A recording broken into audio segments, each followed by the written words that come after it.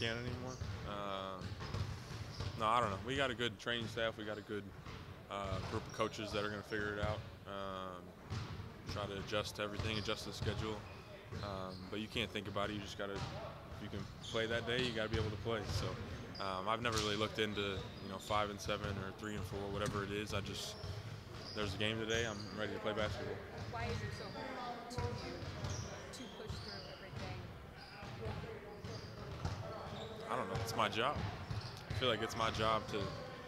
I get paid a lot of money to play basketball, so um, I'm not going to sit out for no reason. Um, if I can play, if I can walk, if I can run, I'm going to be out there and help my teammates try to win.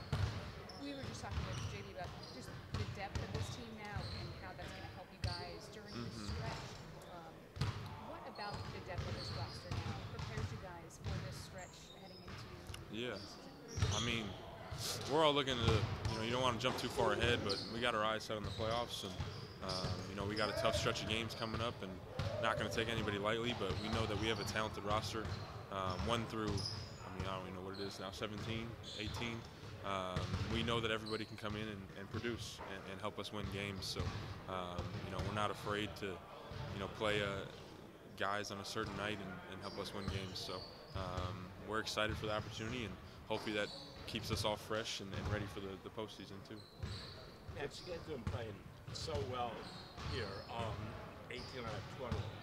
How do you even get better for the playoffs and, and not peak too soon? I mean, I don't think it's about peaking. It's just about consistency.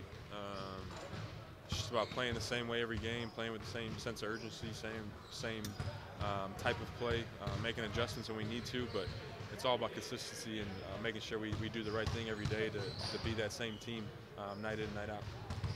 for being creatures of habit, what does a week off do for you mentally and physically, and also getting back into that rhythm after that time off? Yeah, it's huge. Um, you know, I take the, the break to get away from basketball and, like you said, reset the mind. So um, it, it was good for me. Um, but you know, now it's time to come back and you know everybody.